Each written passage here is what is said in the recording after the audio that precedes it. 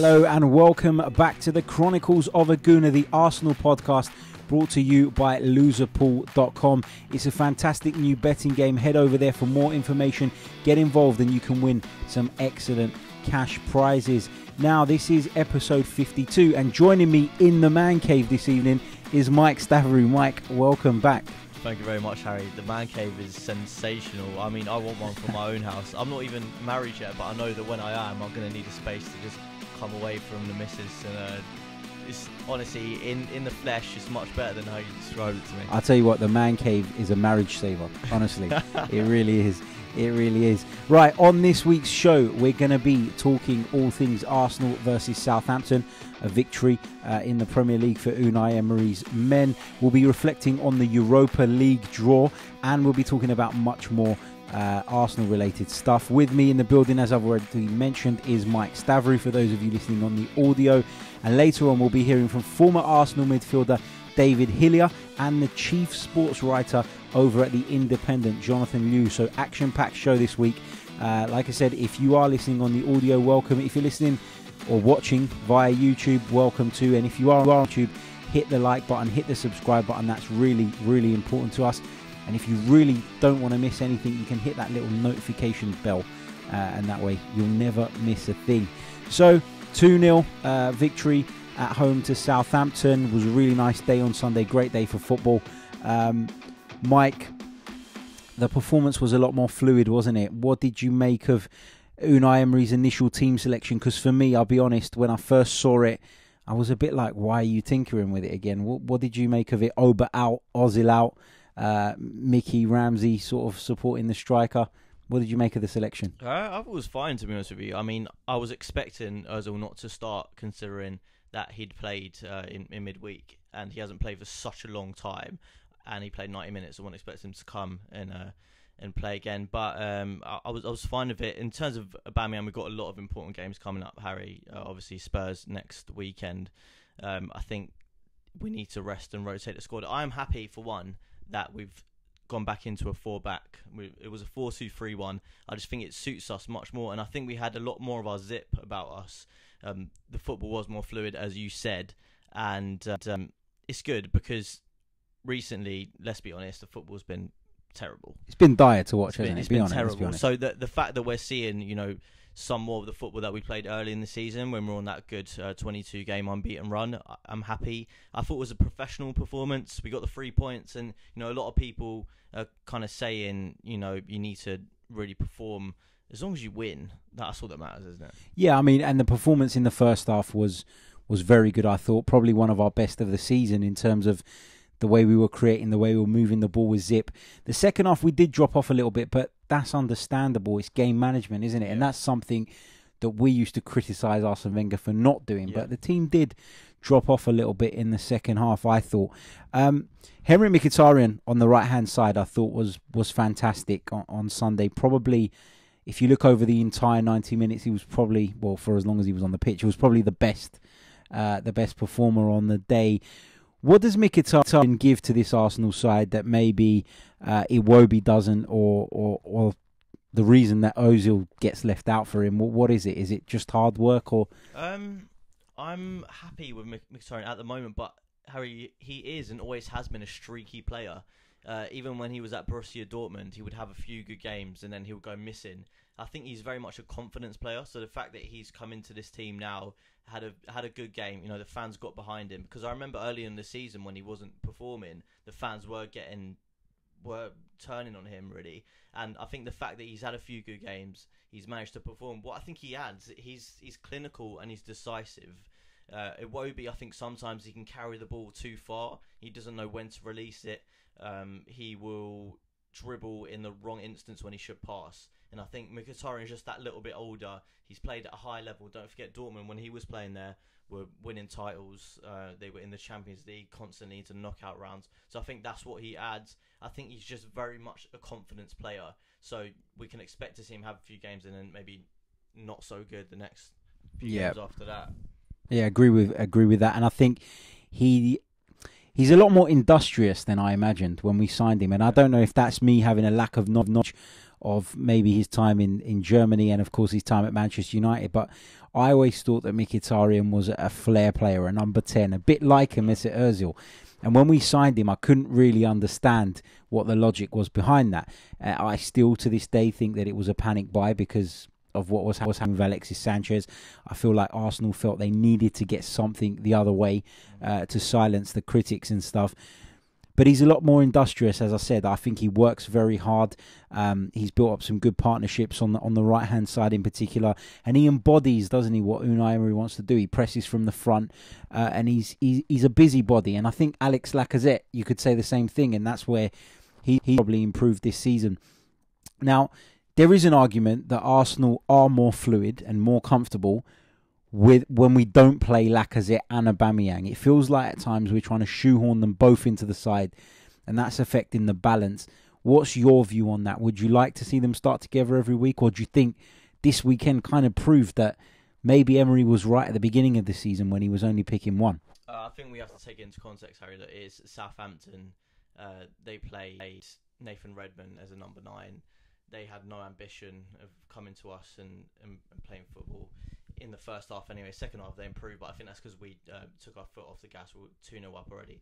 Um, I think you're right. I think in terms of fluidity, he makes us play much better because his all round play is fantastic. You know, I think his technical play, when you play the ball into him, hold up play, all of that is better than Aubameyang. And the fact that he is a better number nine means that Aubameyang automatically has to be pushed into a wider role. I know some people are saying it's more of an inside forward, but I still think you're right. You're shoehorning them in.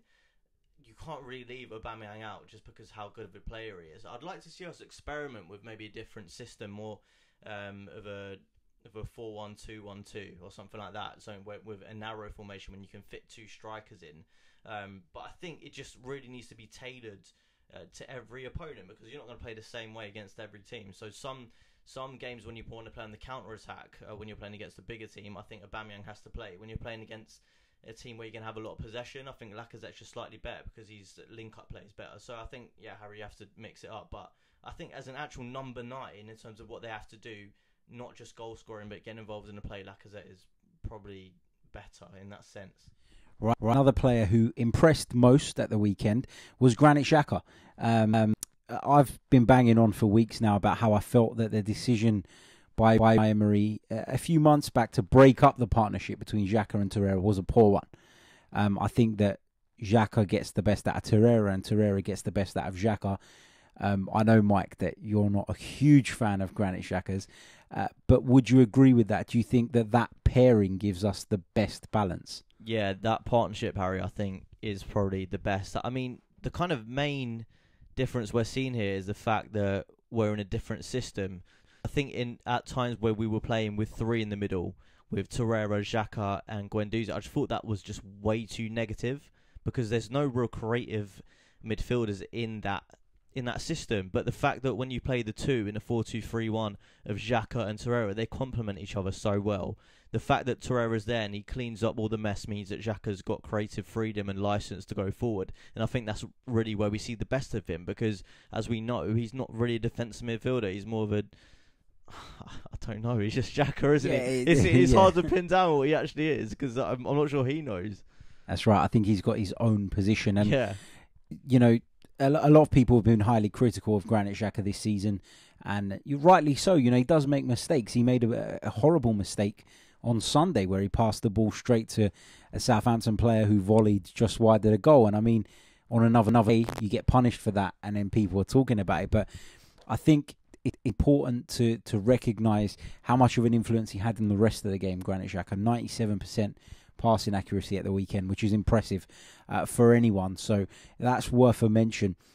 Now, um, another player that I want to talk about is Sokratis and his influence on this side when we first signed him, you all know from the shows that we've done on Love Sport Radio that I've never been overly convinced by him. When we first bought him, I felt like we were shopping in the second bracket of players. Didn't feel like a good signing to me, but he has helped this defence out a lot, in my opinion. And got, I'd hate to think where they would be if the, he wasn't in it because it's been a shambles other than him. But you know his his ability to organise, his the way he encourages players, the way he pulls players in around him, I think is great. How would you assess his impact at Arsenal since he arrived from Dortmund in the summer? Do you know what I'd say? I'd say it's that Greek leadership quality, Harry. As as we know as Greeks, I just think he has that. With it. he's a he's a leader. He really is a sort of captain type, isn't he? I think he he should have, or maybe he might be named as one of Emery's five captains at ne- next season, just because of the influence he's had. In terms of him as a defender, I think he's decent. I think he's okay in, in one-on-ones. I think his biggest asset is his dominance in the air, and he fights for everything. Um, but it, it does show when he's in the team how much better we are because we're more organised because he does have that leadership quality. Um, whether he can improve Mustafi, I, I don't know. I think Mustafi's beyond help. But in terms of Sokratis as himself, I think he makes us much better. I think in terms of our defence, look, we know there's a lot of issues that come down from organisation as a whole. Players knowing where to be at what particular sequence, who to mark on corners, um, which we actually haven't have been better at this season. I think you'd probably agree with that as well. But um, did you see in the first 10 minutes, I think it was, against Southampton, Mustafi, there was a ball played over the top and he had no no clue. No clue. I think Sokratis sort of helps out with that, but you can't, in terms of that, that's an individual error. That's just someone not being in sync with the with the quality of the game. But I think Sokratis he has improved our defence, but um, when we do go out and sign another defender with our 50 million pound budget this this summer. um, I think we need someone to partner him because Koscielny's aging. Um, Mustafi's not good enough, I think, Harry, and um, Rob Holding's out for a while. Who knows what he's going to be like when he's back from injury? What one player I would like to see more of is uh is Mavropanos because Mavropanos and Sokratis, you know, two Greeks at the back. I think that that could be a good partnership if he gets more time. But obviously he's not been playing recently, so let's yeah. see what happens with that. Absolutely. I mean, the thing I always say about Mavropanos, and I, I've had this debate quite a lot with people in the last few weeks, is that you know being from a Greek background like we are, nothing would make me more proud than to see two centre halves, two Greek centre halves playing at Arsenal. But you've got to be realistic and you've got to look at Mavropanos and say, has he got potential? Probably yes. If he didn't, I don't think that he would have been brought to the club. He's obviously done something to get on the radar, but he played that game at Manchester United last season, which he played pretty well in, and then the the last game he played and I think that was only the second senior game he played was away at Leicester, a game that I went up to, and he got sent off. Um, I think it was in the first half, and he wasn't all that, if that makes sense. And I feel like PP kind of, in the desperation because our defense is so bad, they turn into this young boy in hope that he can solve the problems. But in actual fact, what has he shown? What has he given us to suggest that he could fill? We that did that gap? with, with Holding though, didn't we? Ultimately, we were just had no players available, and Holding came in, and initially people were kind of questioning whether he was good enough. But after a string of really good performances at the beginning of this season, before he got injured, he became probably one of our best centre backs. So I think Mavropanos is is not easy to judge him because he's not played. I just think if he had a bit more of a run in the side. Um, we be able to see what, what he's about more. So I, I, think it's difficult to judge him, but he's he's one for the future. Yeah, anyway. absolutely. Uh, my only worry with those two would be the lack of technical ability because I think that Sokratis lacks. I'm not going to say he's bad in possession because he doesn't really give the ball away much, but he doesn't strike me as the type of centre back that can get the ball in a tight space and do what's necessary to get out of those situations. And yeah. I don't think Mavropanos is that type of player either. So maybe for a manager who's so insistent on playing out from the back, that might be why he's reluctant to do it. Maybe. Yeah, no, I I probably agree with you. They're both kind of big traditional centre halves, aren't they? They're not really your fancy types. So I do get what what you're trying to say.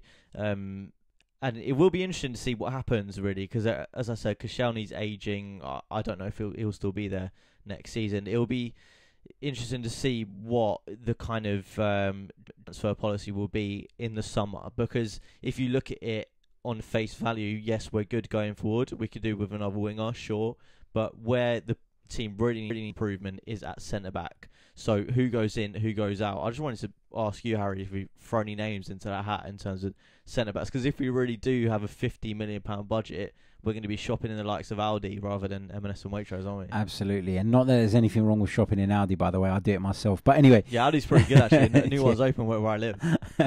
but when you're talking about t- transfer targets, it's really difficult. It's really difficult to identify realistic targets without knowing what the actual financial situation is at the club. Um, I watch a lot of Serie A, as you know, and, and there are lots of very decent centre backs out there. I mean, there's one at AC Milan that catches people's eye, and his name's Alessio Romagnoli. He was linked with Chelsea, I think, uh, last season, but he's got injury problems.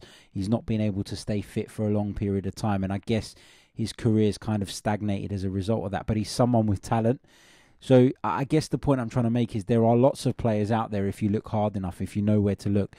And the whole idea of this revolution was that it was going to be based on Sven Mislintat's ability to go out and find those players, and now he's gone.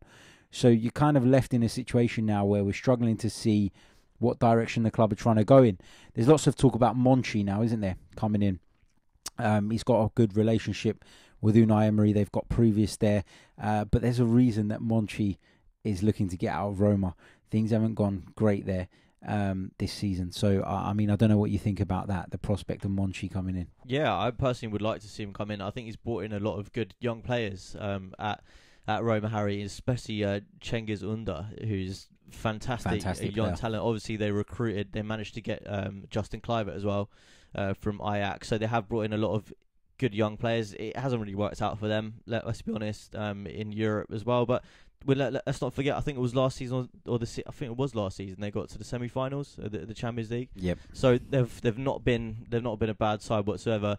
The fact that he has does have a relationship with um, with Emery already from their time at Sevilla speaks good, and um, I think the quicker we can get get a technical director in, the better. Just so he, he can come in and outlay his philosophy. Because if we get him in in the summer, look, will we have enough time? Will he be given you know the the backing to, to do what he wants to do? Because uh, ultimately, look, football fans they're so reactive, and if we got a new technical director who's who's a, a, big name. I just think, and he doesn't necessarily bring in the kind of players that we want or we as fans want, the big names. I think a lot of people will kind of jump on that because everyone wants a name to, to blame, don't they? Like with um with, with Emery recently, he's been getting a, a lot of stick, and some of some of it his fault. Some not necessarily. I think if we have to pin our blame on anyone, it has to be Stan Stan Kroenke. And I think sometimes fans get caught up a little bit in it's it's a blame game, isn't it? Sometimes you know clubs change and they're not exactly what they used to be. I think Arsenal were just a a change in environment, and fans need to accept that at some point. We're not going to be spending money like Liverpool or Man City. We need to adapt our philosophy um, of bringing in younger players for less, like someone like Matteo Guendouzi. That's the kind of way I think Arsenal should be going because you can still compete. Like I don't want to draw comparisons to, to the scum, but I will in in terms of the the way that they've hardly spent any money and they haven't signed a player in the last two transfer windows and they're still ten points ahead of us. I mean, if, if it, it can be done, it can be done. Yeah, absolutely, absolutely. And we we digressed a little bit onto Monchi. We were talking about centre backs initially, weren't we? And so I want to ask you about Shkodran Mustafi now. For me, and this was kind of something that got me thinking at the weekend and I know it's been spoken about in the past, but I'd never really thought a bit of it, sorry, as a serious conversation until Sunday, and that was when uh, uh, Stefan Lichtsteiner was taken off and Laurent Koscielny came on. Mustafi moved to right back. Now we know he's played there for Germany before, and a lot of people are, are writing off Shkodran Mustafi, saying he doesn't have a future at this football club. He's simply not good enough. If you look at Mustafi's strengths, in my opinion, it's that he's quite sharp it's that he's quite comfortable in possession. Um, is there an argument that Shkodran Mustafi could be converted to a right back? Maybe not first choice, not ahead of Hector Bellerin, but maybe he's a good option to cover for Hector Bellerin and a better option than an Ainsley Maitland-Niles or an aging Stefan Lichtsteiner. In one answer, no. Um, I don't think it's the kind of fullback that you want to be going for, the, way that we play, the way that Emery likes to play. Because on on one on one side, one of our most successful players this season, Harry, has been Kolasinac, and the reason for that is because of his ability to bomb forward and help out and overlap. And his delivery's been good. He's a strong player. Defensively, you know, there are questions about him, but for me, the modern fullback is about attacking. And I, although Mustafi is good on the ball, that's as a centre back. As a fullback, it's a totally di- different game. You need to have good, um, good dribbling. You need to be fast, which Mustafi is not, and I just don't think he has the credentials. I mean, is he better than Lazy Maitland Niles? It's tough to say. Going forward, no. Def- defensively, maybe, but um, there's been links recently to uh, Aaron Wan-Bissaka. I know, but Crystal Palace want 40 million, so that'll be 40 million of our 50 million budget with 10 million left to spend on the rest of the team. But I think he'd be perfect for, for us. Um, whether he he'd, he'd be battling with Bellerin, I think that's probably what Bellerin needs because I think he improved the most when when there was a bit of pressure on him, and you know Lichtsteiner came in, not necessarily challenging him, but there was someone behind him because all, you have to admit there's been a lot of years when there's been no one. It's just Bellerin. Um, so yeah, I think that would be a fantastic signing. But Mustafi, no, I'm sorry, I can't. Would, would you not say though that you, you said that say Kolasinac's biggest problem was probably his defensive. Um, what's the way of putting this politely? Inability, maybe. Kolasinac is often exposed defensively. There's no doubt about that. But would the system not have more flexibility with a Mustafi at right back? Because when Kolasinac does bomb forward, the defence could shift over into a back three. And then you could still have uh, Kolasinac bombing forward with that extra insurance policy that Shkodran Mustafi on the other side can slot in and the whole defence can shift over. And you've kind of gone from playing with a back four to a back three in minutes. Um, yeah, I'd, I'd agree with you on that front, but that that basically says that all your attacking is coming from the left hand side. What happens if you want to switch the play? Like Mustafi's inability to go forward is going to be an issue. It makes us kind of one sided. Ultimately, you want a player you want two fullbacks that are going to be able to do one or the other. So when the right back goes, the left back drops back. When the left back goes, the right back drops back. I think just Mustafi just leaves us short. Yeah, it's a it's, it's, a nice idea, but I'm sorry, I, I, I can't get behind it. I just don't think he's I don't think he's good enough. Um, yeah, I know everyone says that he's a he's an experienced international fair play, but so was Per Mertesacker, and not necessarily one of our best defenders over the years. So you know, okay. it's it's it's a difficult one to say, and I, I understand, and I think I think Ainsley Maitland-Niles has been kind of. I think it's been difficult for him, isn't it? Because he's he is a midfielder by trade, and the fact that he's been slot in as a right back, and he's been slated, isn't he, by some fans, Harry? I remember especially in the Spur in the League Cup game against Spurs, he was ripped to shreds. But you know he's not a right back, so give him time and let him actually play in his proper position before we start to judge him. Yeah, I mean, you put square pegs in round holes, and, and that's bound to happen, isn't it? Um, let, let us know what you guys think. Does Mustafi have a chance of rejuvenating his career if he's moved to right back? Let us know, what you think. Tweet us at chronicles underscore AFC, or if you prefer a good old fashioned email, you can email us chroniclesafc at gmail.com. Um, we've spoken a little bit about Stefan Lichtsteiner already. I thought that was one of one of better performances in an Arsenal shirt. I thought he looked a lot more comfortable defensively. Didn't really get exposed. I think anything dangerous that came from Southampton in the first half came on that the, that opposite side. I thought he got forward well. I thought he used the ball well when he got forward on Sunday. Um, and I would go as far as saying that was Stefan Lichtsteiner's best performance in an Arsenal shirt so far. Um, he's a player who's taken pelters, hasn't he, from all angles this season. He's not been good enough, let's be realistic. But that was a good performance, and so credit where it's due. Um, again, let us know what you think on that. Tweet us at Chronicles underscore AFC. Mike, now as we mentioned at the top of the show, it's been a while since you've been on, actually, hasn't it? It's been a good few weeks now.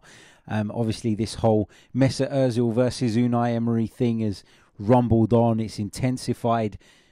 Where do you stand on it? I've not heard from you on this. Um, let our listeners know where you stand on this whole debate and, and how you see it. To be honest, Harry, I think a lot of the blame lies with, with Emery in this one because I just think that when you have that that kind of player that's so creative, he, he's a visionary, right? And I think he's been too stubborn because th- there has been times, as I was saying earlier, when we, we play a three the back formation with three defensive midfielders ultimately, Torreira, Xhaka, and Guendouzi. There's so much space for an Özil. Um, it showed in, against BATE. He he came on, didn't necessarily have his best game, but it's the touches and the anticipation and seeing things that other people don't. And the fact that um, Emery's so stubborn stick to his philosophy because he doesn't necessarily play with a number 10. I just think in every single team you have to have a luxury player because ultimately that's the difference. That that's the game changer and have players like Iwobi, like Mkhitaryan who are attacking players but they they work hard and yeah, fine, like they're, they're good, but they won't make a difference in, in a big game. They, they they just won't. So the fact that that he's left him out, I think it's just been ridiculous, and I'm I'm happy he's finally you know, swallowed his pride. You know, maybe Ozil isn't the best trainer. Like maybe he's on an obscene amount of money, right? Um, but I just think for Emery not to play him was a bit ridiculous. At, at, the beginning of the season, I did say to you, you know, I do kind of um, say well done to Emery for being so strong, but I just think once that goes on for such a long time, it does become stubborn. And I'm glad, as an Arsenal fan, to see Ozil back in the team.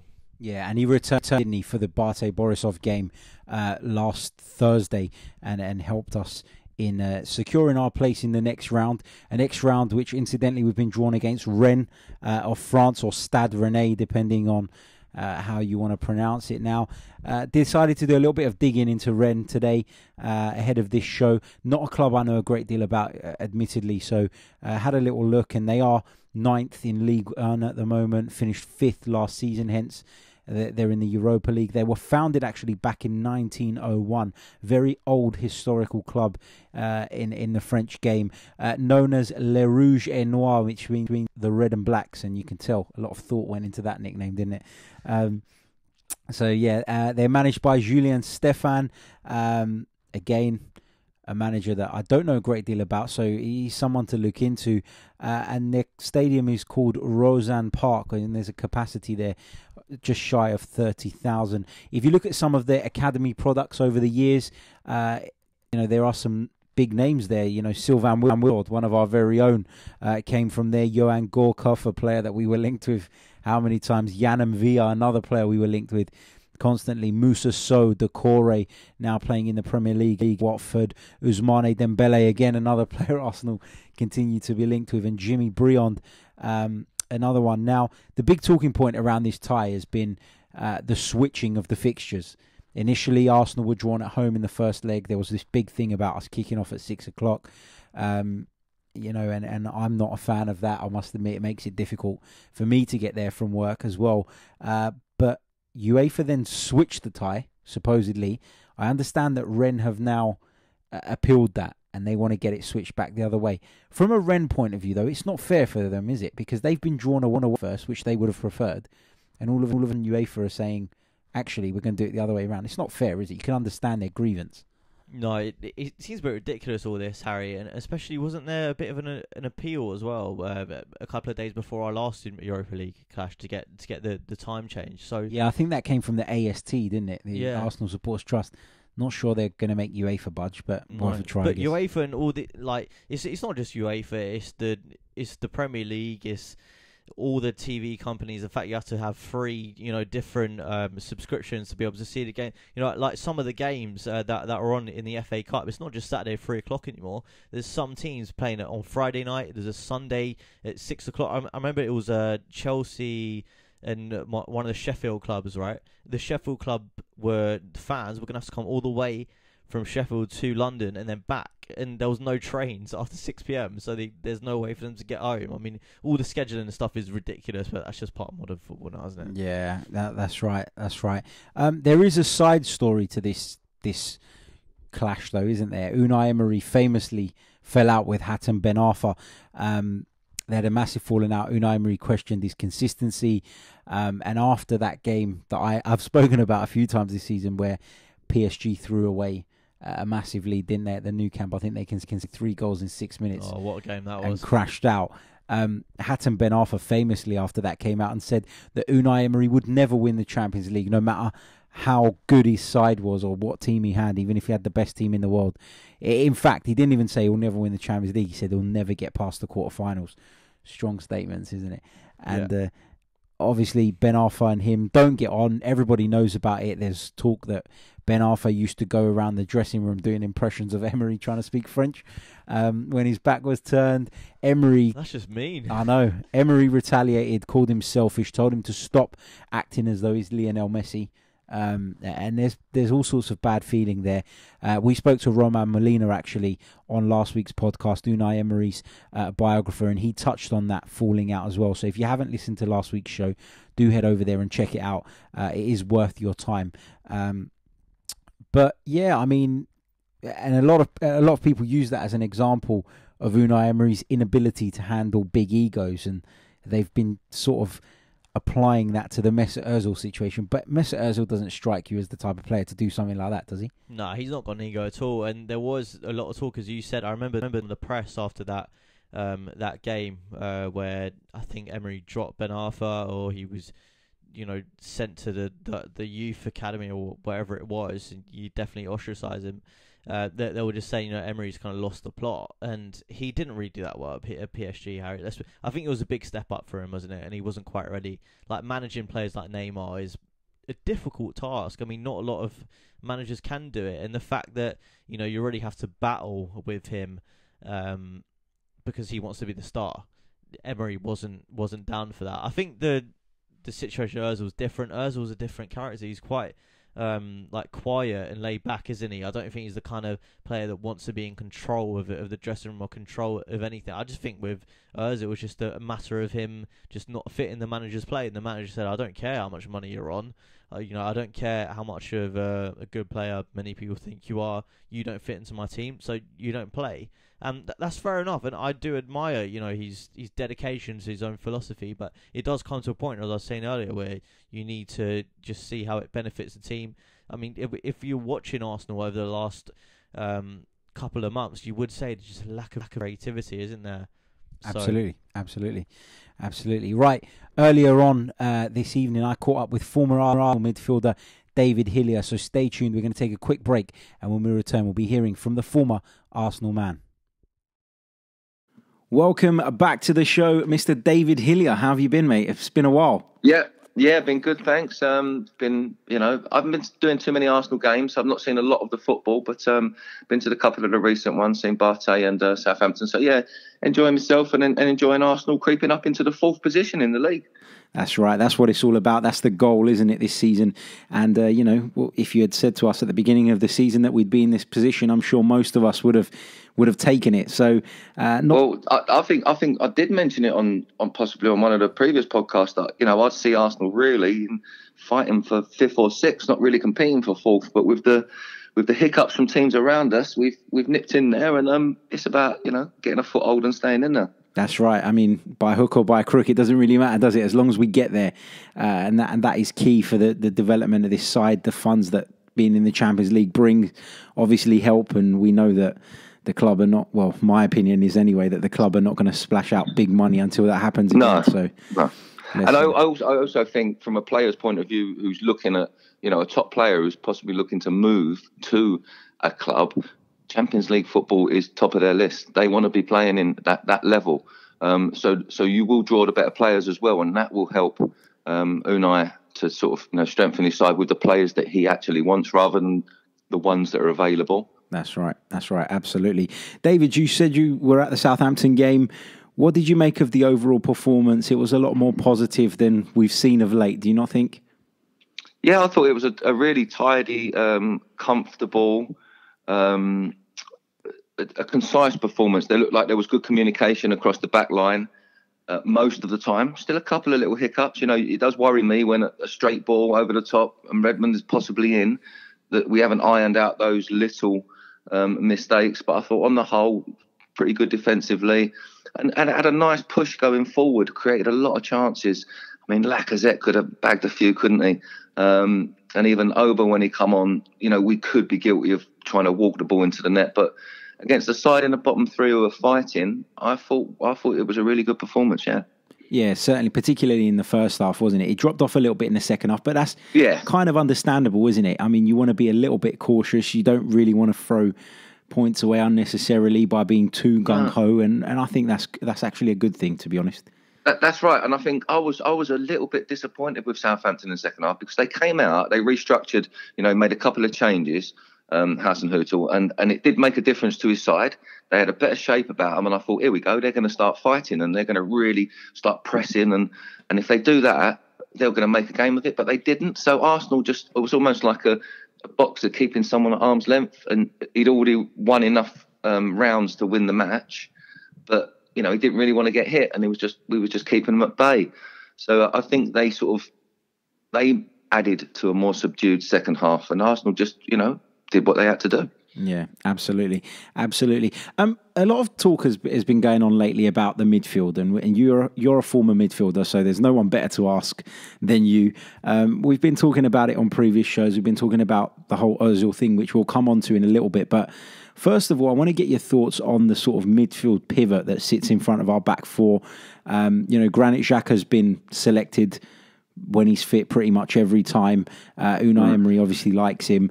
And then you've had Matteo Guendouzi coming in, and it's kind of been him and Torreira sort of swapping places here and there. For me, earlier on in the season, the Xhaka Torreira combination was working well. Couldn't really understand why Emery wanted to break that up. But if it was up to you, what would be that pairing and, and, and why? Well, I, I think I think the best pairing is Xhaka and Torreira at the moment. I haven't seen, you know, you've got Suarez to bring into the mix there, so I don't know what he's really going to bring. Um, there's an opportunity I thought yesterday for him to get him on, but he, the manager decided otherwise, and we'll, we'll see Dennis obviously in, in the future come into the side. But if you're talking about players that have been playing there in recent games, um, yeah, Torreira and Xhaka. I think Torreira has come in, and what he's done is he's took a little bit of the responsibility off of Xhaka of receiving the ball in awkward positions. Um, Xhaka's not comfortable turning with his back to play in the middle of the pitch, so he, he drifts to the left a little bit. He gets it in that little pocket, and Torreira's good at getting the ball, turning, you know, and feeding into the front. So I think the balance of them two's good, and also there's no pressure on Xhaka to go forward anymore. So he, he just happy to sit in because he's more defensive minded. I think it it suits those two better. Guendouzi, he's a little, he's got a little bit of flair about him. I just think he needs to have the reins put on him, and you know sometimes decision making is um I wouldn't say erratic, but he, it's like I want to play football all the time. You know, I want to go and win. I want to score a goal every time I get the ball, and it's not always about that. Yeah. Um, it's about shape, cover, consistency, and he needs to learn those things. Yeah, I, I feel like he gets a little bit distracted sometimes by the ugly side of the game, the arguing with referees, and I feel like sometimes that takes away from what a good player he is, and I feel like there's no need to always get involved in those sort of things. I don't know if you agree.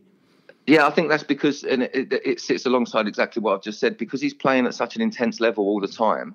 You know, the intensity and the emotion that he's playing with is great, but you need to curtail it sometimes, and that comes out in, like you said, when he argues, when he gets pulled to the ground all the time, and he's you know complaining about this and that, and then it will also affect your decision making. You know, you'll want to do the best you can every time you've got the ball. That's not always the way. You need just to be calm and be reading the situations and playing the game that other players are playing around you as well. You don't want to start playing your own game, um, and that worries me sometimes if he does start doing that. But he'll get that with experience, I'm sure. Yeah, I'm, I'm sure you're right. And, and David, the last time we spoke, this whole Özil thing hadn't become a thing yet. Um, it was a, a non-issue. It wasn't a problem at the start of the season so much. You know, he was dropped a few times, and there was injuries, the back problems that we always hear about, the sickness. But since we last spoke, the whole Emery Özil thing has become a bit of a, a, a talking point. Um, it was nice to see him back in the side against Borisov. It was nice to see him uh, back on the pitch again on Sunday, from my perspective, anyway. What do you make of it? How have you sort of seen this thing, and, and where do you stand on it? Does Özil warrant a place in Arsenal starting 11 from week to week? I, I don't understand how the situation's got to this stage. Um, first of all, you know, I'll say that the, Mesut Ozil, if you if you are privy to some of the, the videos and the training ground stuff that I see, the way he is with the lads and the way um, he conducts himself around the club, you know, it, it's like this none of this is happening to him, you know, and he's he's really happy, and all the players are happy with him, and the, the staff and the managers and everyone's happy with him. And I don't think I don't think there's an issue with Mesut's game. I, I think the issue is, like you said a, a little while ago, it wasn't, you know, a thing. But when he's left out of the side so many times, he then starts to lose his consistent level he was playing at. So every time he comes back into the side, like um, coming back into the side yesterday, when he whenever he gets on the pitch, he's expected to do something so special to warrant a place in the side the next game. He's not got that. Um, he can't say, "Oh well, I've, I've played the last twelve games. I've, I've had eight good, three average, and one bad." He hasn't got that in the locker, so he's putting himself under pressure every time. And it's not just him putting himself under pressure. The crowd are putting him under pressure.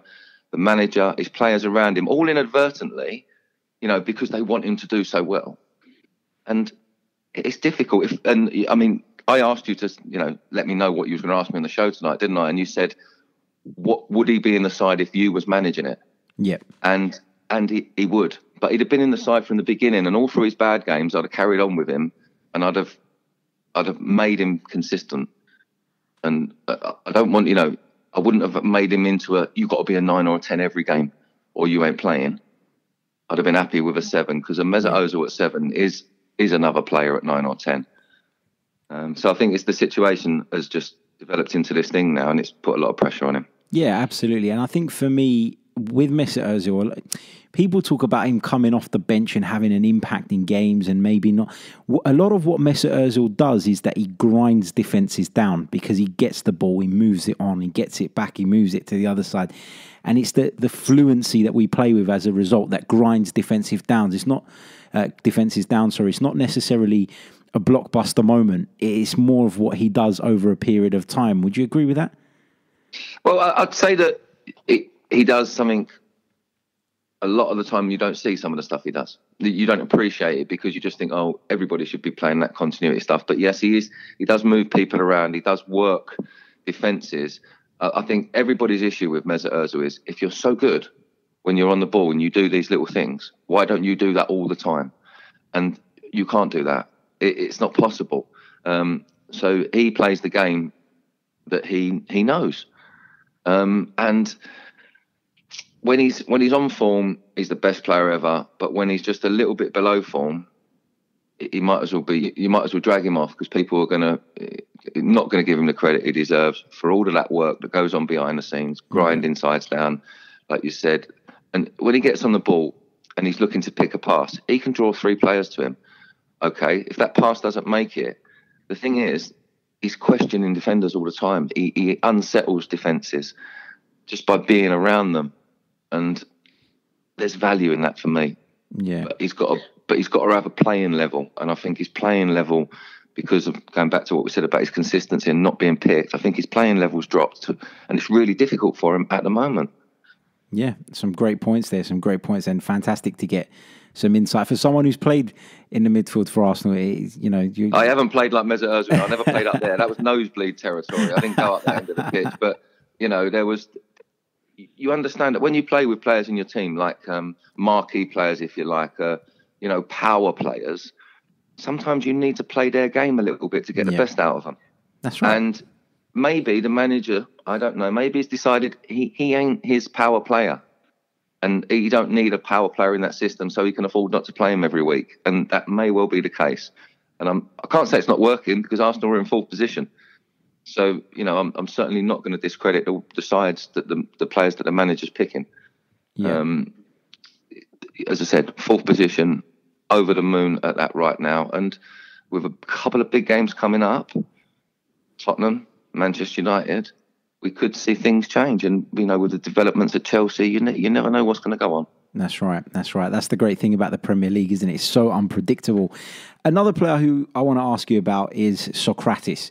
Now, mm-hmm. when he was signed, and, and I'm from a Greek background, so when he was signed, I knew more about him than most did, in the sense that I'd watched him play for the national team quite a lot. I'd never yeah. been overly impressed with him. I always thought he looked a bit sluggish. I always thought that he was not particularly gifted technically. And I had my reservations about the signing. I felt like, and I said it at the start of the season, that we were kind of shopping in the second bracket of players. And he's come in, and I'm not saying that he's turned world class overnight, but what he has done is he's had an impact, hasn't he? How would you assess sort of his Arsenal career so far? Have you been impressed with him?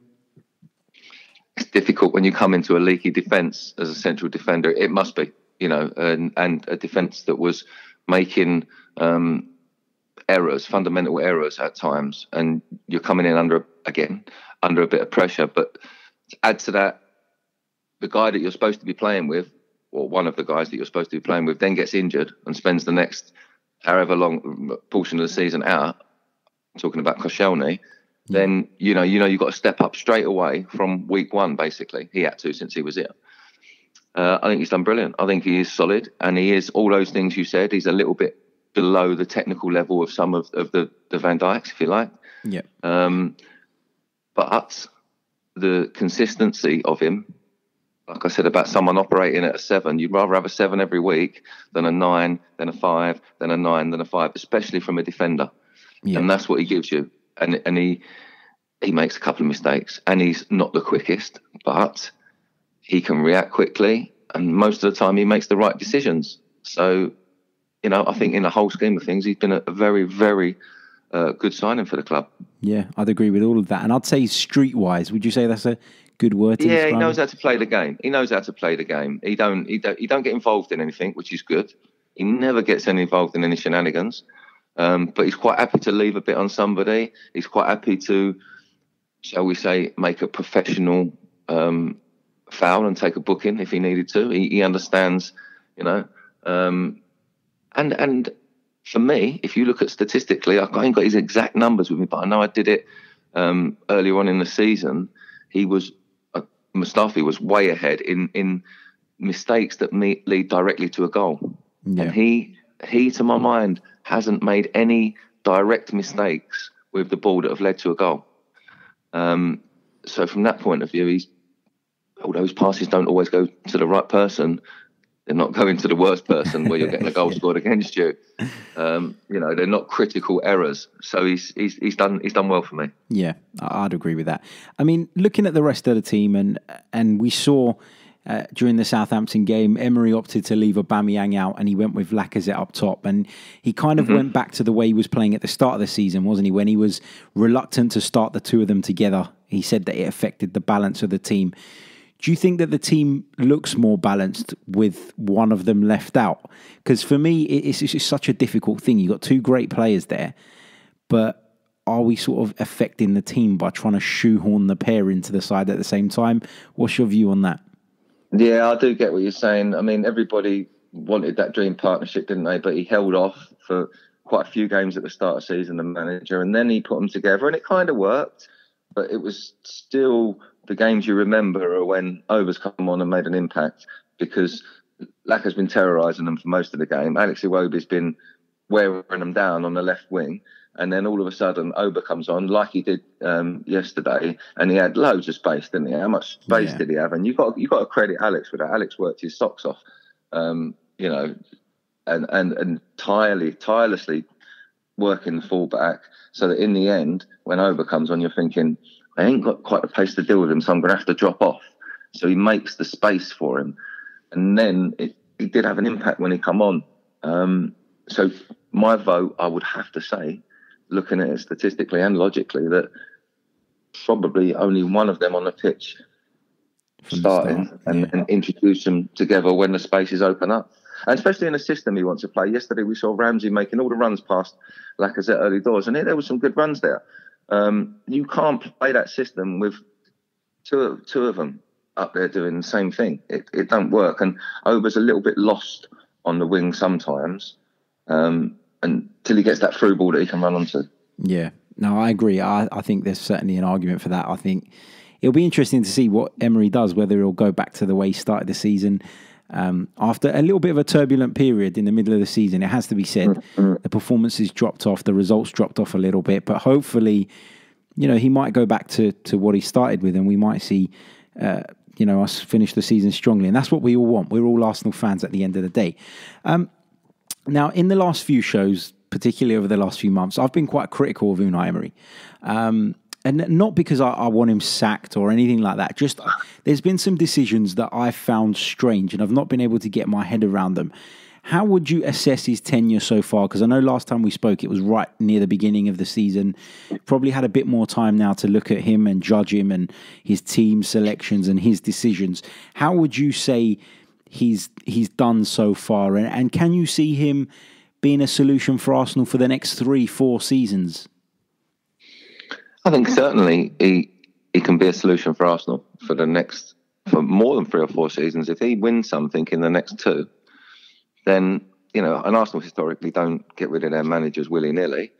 And if he if he does win something and he, he gets, I think if he gets signings he wants um, and gets the support that he wants, then I, I think he's a great manager for Arsenal. If he doesn't, it's not, and it's simple as that in, in everybody else's terms as well, because he, he will. Um, if you don't get the results and Arsenal fall off, then you know there are consequences to that. Personally, though, my opinion of him is he's a good manager. He's he's animated. He's passionate. He, he's got the team right at the forefront. He's not interested in club stuff. You know, honestly, take it from me. On the inside, he don't care what happens at the club. He's he is only worried about the football. When Arsene Wenger was there, players it was like, oh, you can't approach players, get autographs because they've got to be fully focused on the game. He ain't worried about that. He lets players come and do interviews, and he says, you know, you've got to be relaxed. You've got to be playing your best game.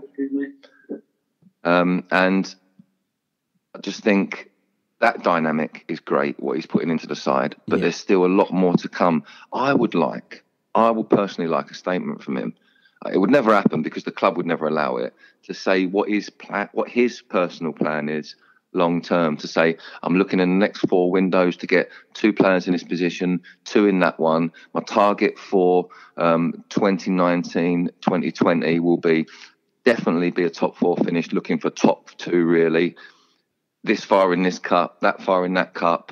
You know, I, I want a sort of breakdown of, of what's going on. Yeah. The club, the club would never give you that, though, no, would they? of course, of course not. um, the club would never give you that. So I've, I've got to work with, as an Arsenal fan, I've got to work with Unai Emery, believe in him, and hope that the transfer windows bring him what he wants to do, what he wants to do with Arsenal Football Club, and I think then we'll see the best from him. Yeah, I agree, and and that's been my kind of thing that I've been picking on him a little bit about is that I've struggled at times to see the vision. That the system's changed so many mm. times, and it's kind of like, well, if you want to play one way, stick to it and implement it rather than chopping and changing. And and that's kind of been my thing with Emery so far. But I think you're right. It would be nice to know yeah. how far he thinks he can take this team. Or or he could simply come out and say, look, I'm chopping and changing and doing this and doing that because I'm looking at this player for that. I'm looking at and, and give you a reason why he's doing yeah. it, not just not just oh uh, and it's difficult because of his language as well. He just, you know, the player I picked is the player for the game today, and yeah, I, yeah. I picked player from training, and in my mind, he plays game. That ain't no, that ain't that don't tell me nothing. Yeah, that's right. You know, I, I want him to say, look, at the moment, maybe Mesut Ozil, he can't fit into the system I want to play. I want to play someone who makes runs into these areas, and that's not Mesut's game. And I don't want to, I don't want to forfeit everybody else in the team to fit Mesut Ozil in. If he tells me that then I say, fine. What yeah. are you going to do? You're going to put in there and let me see if that works. And I'm happy with that. But because we don't get that feedback, we question him. Like you, like you're saying, you question him. But I don't think he can do that because he, he works for Arsenal Football Club and he's he's got a he's got toe the line. If you know what I mean with Arsenal, you don't. Yeah. There's a certain level of, of respect for the club and everything's kept in house. So they'll be quietly working behind the scenes, but we won't know anything about it until the day it happens. Yeah, I totally agree. David, been an absolute pleasure talking to you. Before I let you go, though, are you going to give us a prediction for Bournemouth on Wednesday night and uh, the North London Derby at the weekend? Well, North London Derby's easy, isn't it? I hope we get a draw. I hope we get a draw. um, I, do you know what? I just hope we go out and play really well and, and play like it's a North London Derby. And obviously, obviously, I want us to win. Um, results wise, if I was a betting man, I would bet on Tottenham to win the game. I'll tell you that straight if I was a gambler, but I'm not. I'm an optimist. So Arsenal are going to win 2 1. And Bournemouth.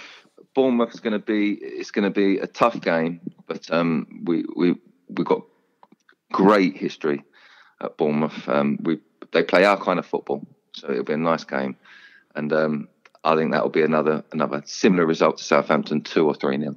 Brilliant, brilliant stuff, David. Do you want to let our listeners know how they can follow you on social media? Well, I'm on. I'm only really on Twitter. I am on Instagram as well, um, but I don't know the my handle or whatever you call it. I'm not really down with the kids on that one, but it's just uh, at Dave Hillier with two R's on Twitter. Brilliant, and I'll make sure it's included in the description of this episode for those of you who want to follow David. Do head over there. Do give him a follow. Um, it's not every day we find uh, ex Arsenal players that are willing to chat to us and, and talk all football with us. And for for that, I thank David um, very much. And hopefully, we can speak again in the near future, David. Absolutely, yeah. Look forward to it after after the North London victory. Definitely, lovely stuff. Cheers, David. All right, lovely. On Sunday morning, I had the pleasure of talking to the chief sports writer over at The Independent, Jonathan Liew, and we touched on a fantastic piece that he wrote on the Arsenal just last week. I'm going to take another short break, and when I return, you'll be able to hear that interview.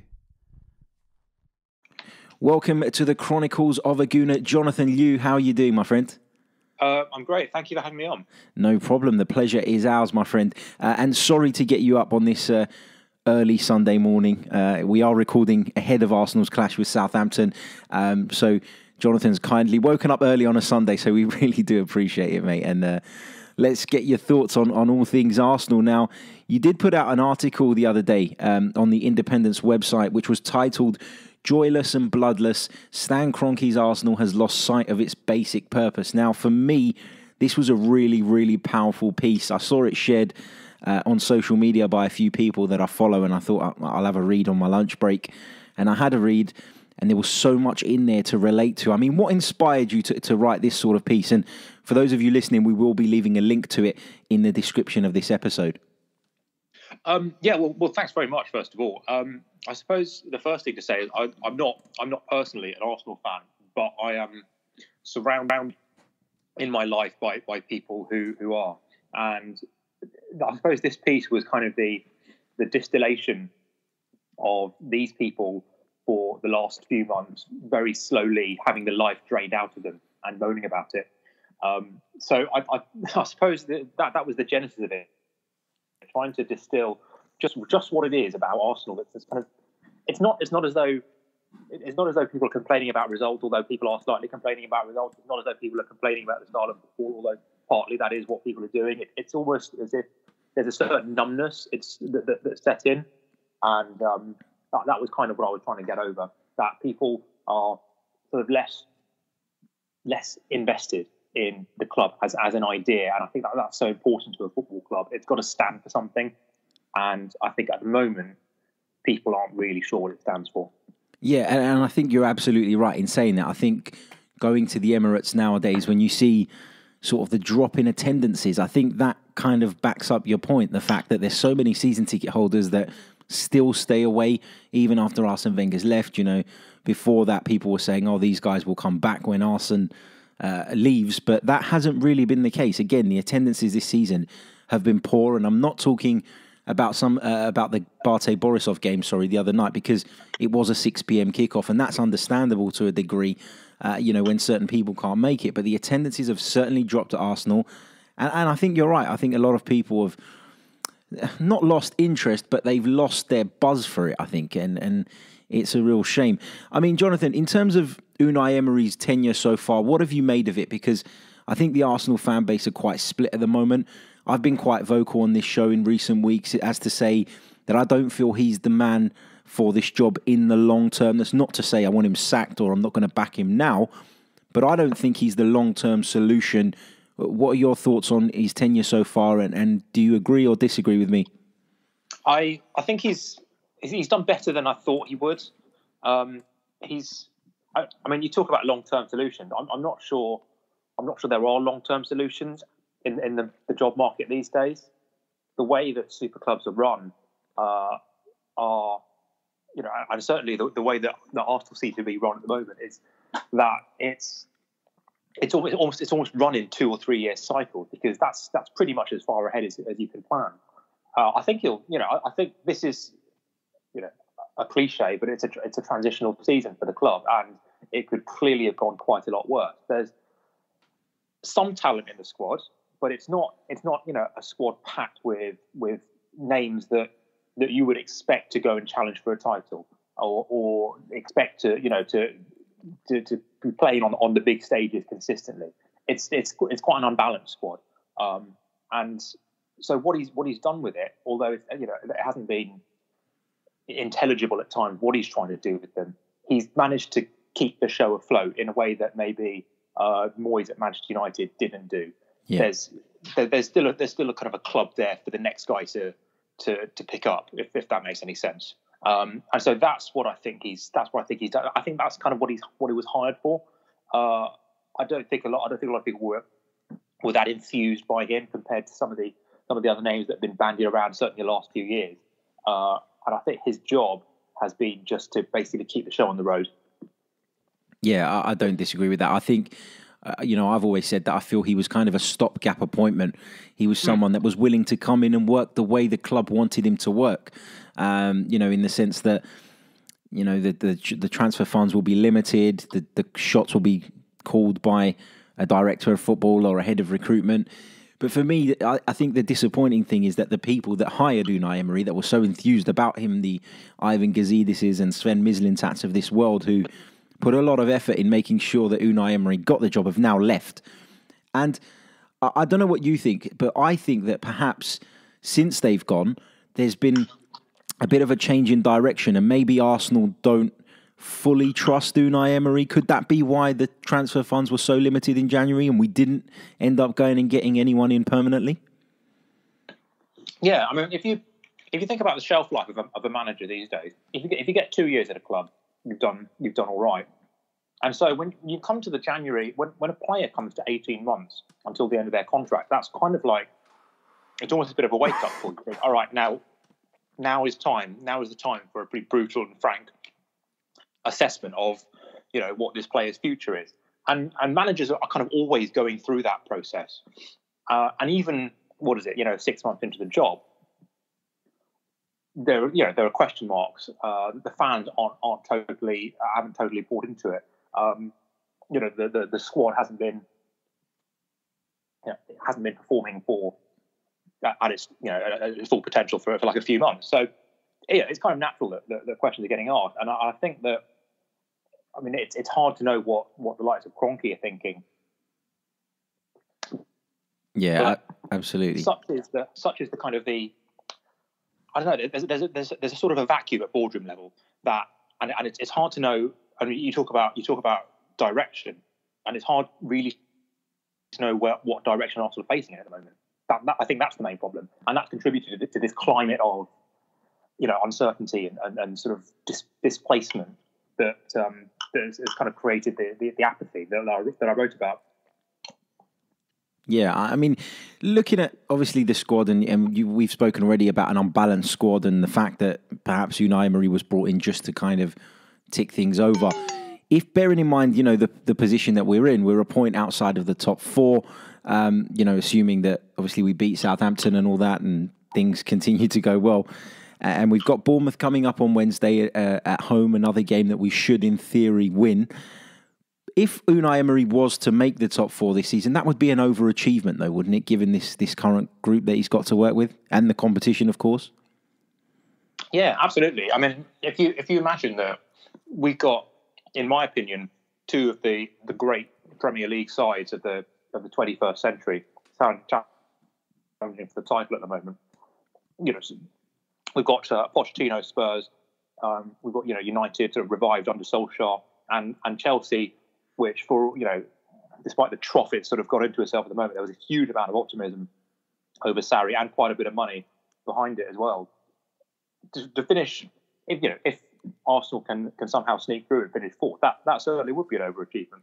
Or even winning the Europa League and, and getting back in, into the Champions League that way, because it's certainly, you know, uh, it's certainly an achievable target for them this season. It should be an achievable target for them this season. I mean, Rennes are a decent side, but there's no kind of Atletico Madrid in the draw to be that, that you, you get you get daunted by. So there's there's still a huge amount to be salvaged this season, and the the way that seasons end, I think, is uh, is so so important to the mentality of the club going into the summer and then going into the next season. I mean, the, the, the great example of this is Leicester, sort of surviving surviving relegation in 2015, and it, and it then provides an impetus. If Arsenal go on a little run, I mean, people may just sneak into the top four places, the mood around the place will change, and, and that that can be the fuel for something something big in the future. Yeah, absolutely, absolutely. Totally agree with with with all of your points there, Jonathan. It's fantastic getting some insight uh, from someone in the in the media business like yourself, and someone so prominent in that in that industry too. So, uh, Jonathan, I really, really appreciate you taking the time out to speak to me today. Um, honestly, I can't thank you enough. Do you want to let our listeners know how they can follow you on social media and keep up with your your latest work? Nah, you're you're all right. that's, a bit of peace and quiet, to be honest. no worries, no worries. but thanks for having me on, and um, you know, to, to, to, you know, followers of, of English football and, and, followers of Arsenal around the world, um, you know, thanks. The pleasure is ours. Like I said right at the top of this interview, the pleasure is ours. And like I said, having someone, you know, as knowledgeable as yourself come on the show and, and take time out to come on the show means the world to me. And I, and I really, really do appreciate it. And I'm sure our listeners do too. I appreciate that. Cheers. Right, we've we've to that part in the show where it's time to answer your questions. A huge thank you to every single one of you who's reached out via social media and provided us with a question for this week's show. Unfortunately, I won't have time to get through all of them, but we're going to pick a select few and get Mike's and my thoughts on those. So let's start off uh, with this question that comes from Mr. DJ at Expat Gooner on Twitter. He's a, uh, a massive follower the show. Uh, always gives us a match day shout out and a Friday podcast follow. So massive thanks to, to Mr. DJ. Now, his question is not Arsenal related, but it's something that we feel is worth discussing. Uh, the Kepa situation, Chelsea's goalkeeper, um, the world's most expensive goalkeeper, actually, um, disobeyed Maurizio Sarri's orders to come off. Uh, during the Carabao Cup final, he says that he was trying to um, notify the bench that he was okay to carry on. Sarri since come out and said it was a massive misunderstanding. Do you think Sarri thinks that, or do you think Sarri's trying to protect himself? Because Chelsea have spent a lot of money on this keeper, and they'd probably pick him over Maurizio Sarri at the moment. So, Mr. DJ's question is, who has been undermined, and uh, you know who's in the wrong, who's in the right, basically. I think it's just complete spin, Harry. You'd probably agree with that. I mean, Sarri's had to go into that um, press conference and be very, very diplomatic. Kepa's also come out and saying there's a misunderstanding. I don't think there's a misunderstanding at all. Sarri said to him, "Look, you've pulled up twice. Come off." And Kepa said no. And to actually disrespect your manager like that, I've never seen anything like it. I was sitting there, and it went on for for a couple of minutes, didn't it? And uh, I was just in shock. I was like, look, your manager just called you off, go off the pitch. And it was it just so happened, didn't it, that uh, he actually made a mistake in the shootout, which probably Caballero, who's a bit of a penalty specialist, would have saved. It was just disgusting, to be honest. And you know when uh, when Sarri was on, on the touchline and going mental, he kind of like made his way, towards the uh, t- towards the the change room. I was like, is that it? Is he walking it out? was as if he was walking Because the out. commentator goes as well. Is this is this Maurizio Sarri leaving the jo- leaving the Chelsea job? I know he's come under a lot of stick. He's an, another one is similar to to Emery, but not quite so. He's so so rigid in his in his play. But um, to actually disrespect a manager like that, I think Kepa, if if I was Sarri, well, first of all, I would have dragged him off. I would have said, look, like just just come. I would have actually gone onto the pitch. I'm not gonna. If I was a manager, it's disgusting. Um, but secondly, I would I would drop him. I would say, look, you've disrespected me as as a manager, and you know that that can't happen. It's just a ma- it's a it's player power, isn't it? That's you it. can't be giving him that. That's exactly what it is, player power, and I think that's something that can have a real impact on Chelsea's season going forward. That, like you said, the level of disrespect to clearly disobey your manager in front of a stadium of eighty thousand people on the biggest stage in a cup final is just it's unbelievable. I can't believe that he's got away with it. Um, I understand why Sarri's dealt with it the way he has. I feel as though, like I said when I was asking you the question, because of the amount that Chelsea have invested on this player, I think Sarri's job is in doubt anyway, um, given that the season hasn't gone as well as they would have liked so far anyway. Um, and I think that this would have been another mark against his name as far as Roman Abramovich is concerned. So I think he's had to come out and try and diffuse the situation as quickly as possible.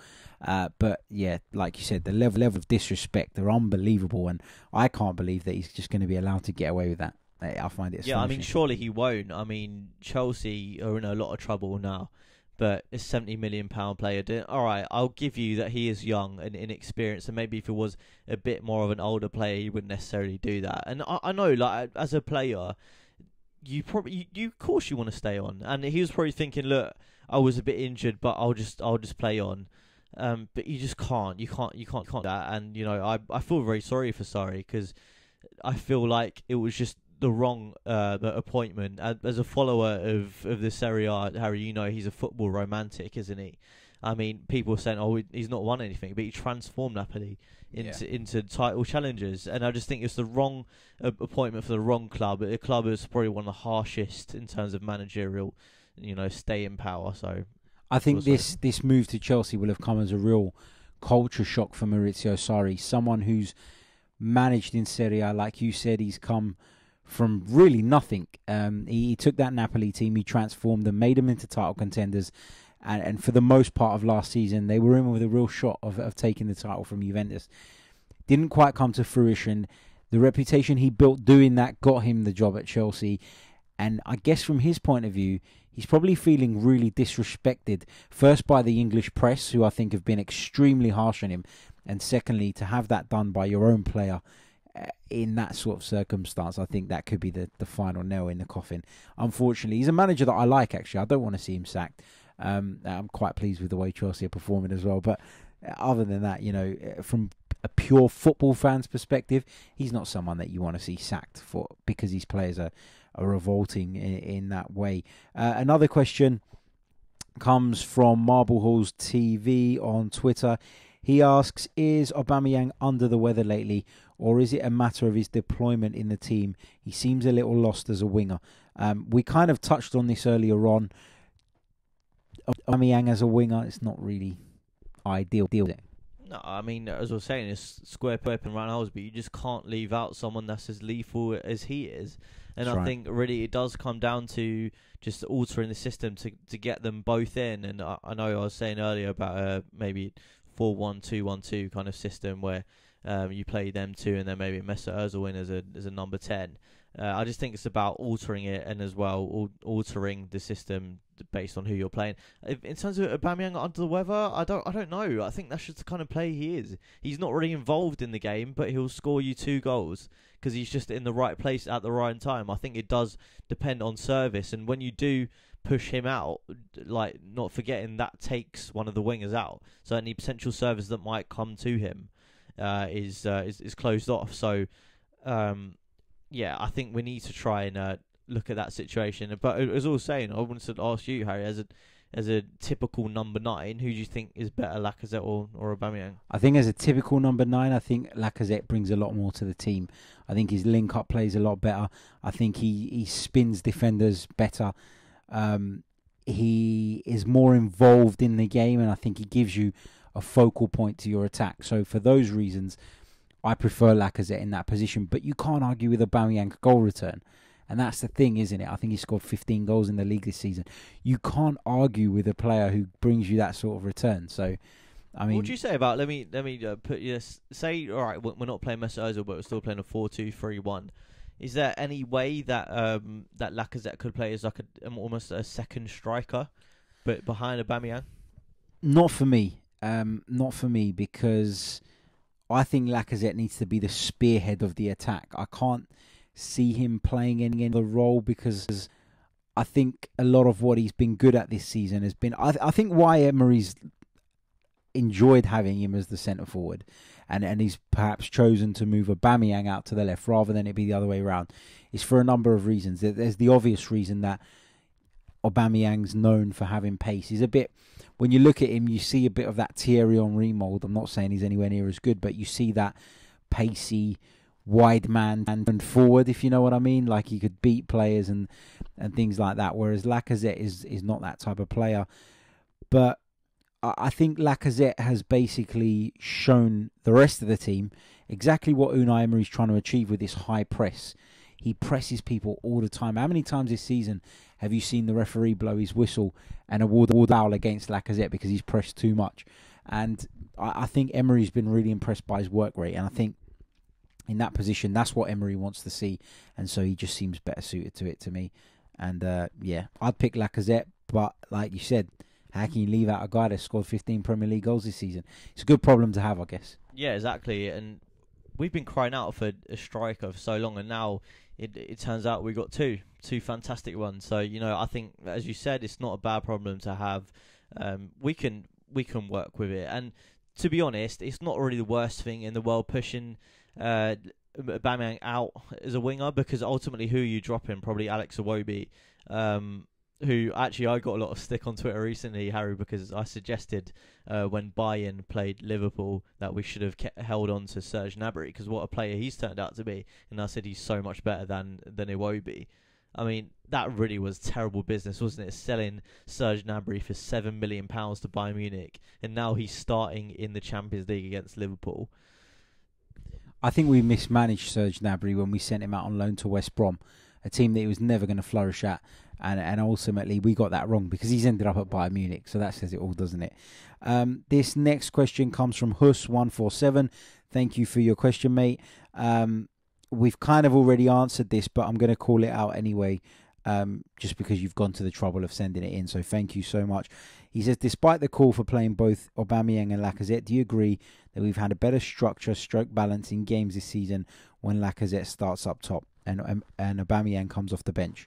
I think we kind of agree that we do have a better balance. Is is that where you stand on it? Yeah, I think more fluid because obviously he just works as a better uh, as a better centre forward in, in terms of he's able to hold the ball up, bring others into play. So I think naturally uh, it's just better. I think sometimes Harry, when the two of them play together, there's there has to be a link in in between them because but both of them up front, um, doesn't really drop off.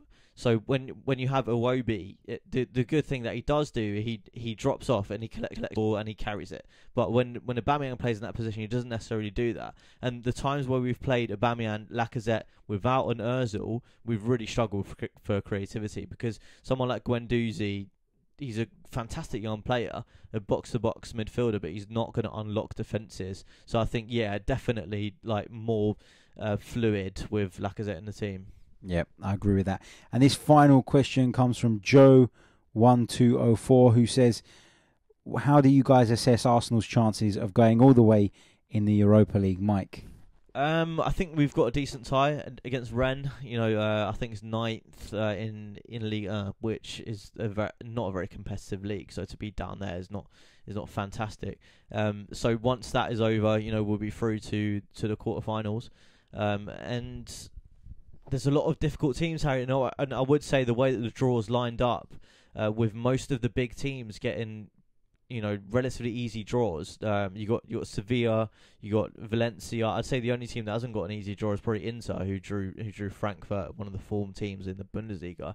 So when you're looking at these teams uh, later on, they're, they're dangerous, especially like a Sevilla who have done well this season in, in La Liga, and wouldn't it be kind of uh, magical if you had like a Sevilla Arsenal final? You know, in, in Emery against the old club he won three Europa Leagues with. But don't forget, there's still Chelsea in there as well. So I think the way it's shaped up, it's it's going to be a difficult composition. I think from the quarters we're going to have a tough team to play all the way to the final if we get there. Yeah, I, I agree with that. I agree with that. And that brings us to the end of another episode of the Chronicles of a Gooner. My thanks to Mike Stavrou, uh, my thanks to Jonathan Liew, and of course, former Arsenal midfielder David Hillier for joining me on this week's show. If you don't already, hit the subscribe button, hit the like button, uh, leave us a review if you're listening on iTunes. It's ever so important to us.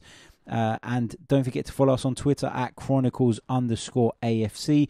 We'll be, later on in the week with a preview show looking ahead to uh, the North London Derby over at Wembley. I almost said White Hart Lane there, but they don't have a stadium, do they?